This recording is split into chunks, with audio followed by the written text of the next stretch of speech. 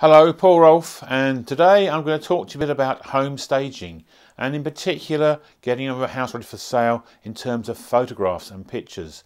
Now, many people have lots of personal photographs around their house, pictures of family at weddings, births, babies, university graduation, and many other um, photographs. Now, our recommendation is you take down these before we start to view your house. Why do we do say that? Because the buyer coming in to look at your house is looking to build or buy their next dream. And their dream doesn't actually include your family photographs of your holidays um, over the last few years. We should present something which is more neutral, which actually has pictures of the lifestyle that someone wants to aspire to, be it lovely uh, fields, scenery, beach holidays, seaside, landscapes, flowers. Um, so that's the reason we, we suggest it. Uh, not everyone does it, and there is actually a potential pitfall with this because at Paul Rolfe Sales Lettings we do all the viewings.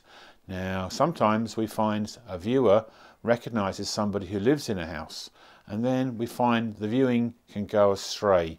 The whole focus changes from the house to why the person living in the house is now leaving, what's wrong with the house, who they are, do they know them, and there's even the potential problem that they may contact you, the owner, directly about the sale of the property, which is really pointless if you're employing an agent to get the very best price for you at the end of the day.